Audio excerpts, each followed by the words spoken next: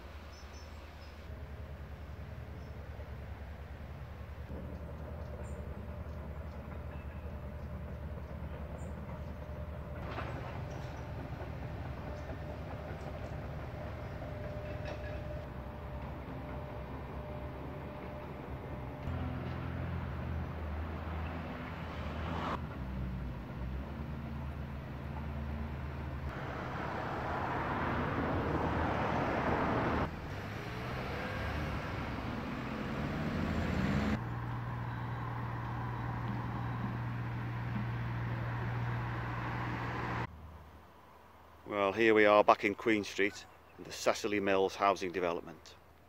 This area at least is going to be a nature reserve.